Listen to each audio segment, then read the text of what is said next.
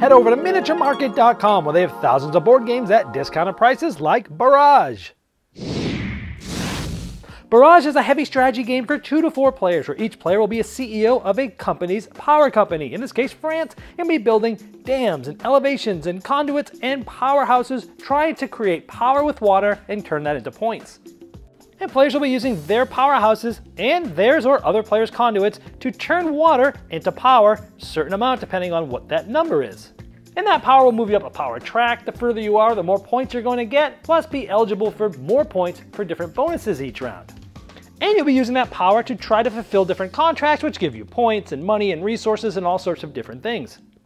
And this is a worker placement game, so you'll be placing workers to get those contracts, to get resources, and to create power and such. And building structures uses this cool wheel where you use the resources and spin this, and you won't get those back until it comes all the way back to the top. And as you construct things, you'll get ongoing abilities or immediate ones and ones that will happen each round for you, like points and money. So you're trying to build in the right places at the right time to capture the water, turn it into power, and turn it into points.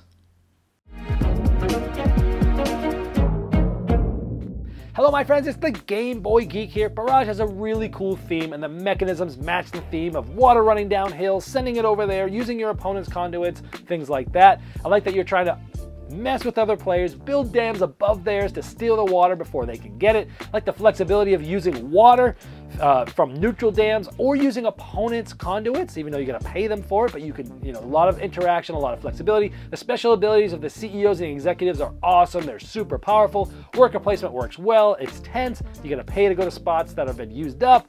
Uh, the power track is a really cool way for end game goals and for points. The construction wheel, really cool using resources and then you'll end up getting them back a little bit later as it goes through a wheel. Lots of cool mechanisms here. Very interesting design, one I liked a lot, but for me it was a little too long, about three hours-ish with a full complement of players.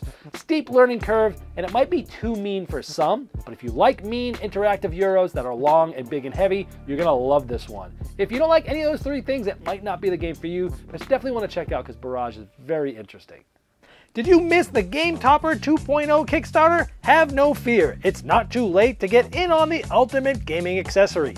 Convert your table into a high quality gaming table with a fully portable game topper system and take advantage of some of the best 3mm premium gaming mats in the industry. New styles, new sizes, and new accessories can be yours. Upgrade every game you play by late backing now at GameToppersLLC.com.